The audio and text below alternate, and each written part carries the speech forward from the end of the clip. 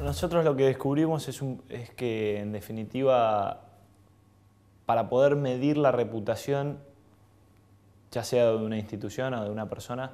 hay que partir desde un enfoque local y no global,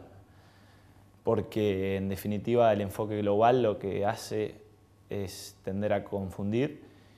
y en cambio el enfoque en confundir a la gente, ¿no? Eh, en confundir al, encuestado, en confundir a, la persona que uno le pregunta sobre una determinada persona o empresa. Y para no confundir a esas personas a las que uno le pregunta, hay que situarlo en un marco, en un contexto en el cual esa persona pueda eh, fácilmente identificar a las empresas. Es decir, si uno le pregunta eh, a las personas sobre empresas que más admira, que más le gusta, si uno sale del ambiente universitario,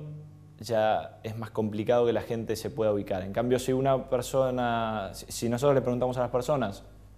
sobre qué piensa sobre la panadería del barrio, seguramente va a tener una opinión muy eh, formada sobre cómo es desde el panadero hasta eh, en general, ¿no? el producto y, todas las cuestiones. Nosotros eh, justamente tuvimos que encontrar un sinónimo de reputación porque el término es absolutamente multívoco para la gente, incluso inentendible para mucha gente,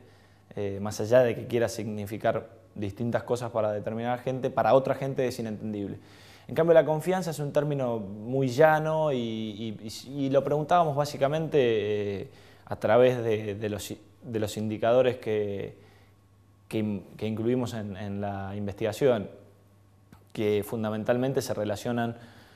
con la respuesta ante reclamos, eh, justamente si, si recibe respuesta ante ante sus reclamos posteriores a determinadas compras, eh, si, mm, el orden y la, higiene del lugar es apropiado y todos esos indicadores van eh, definiendo si una persona confía o no en una empresa, eh, que en definitiva es, un poco más, más comprensible para la gente como término. ¿no?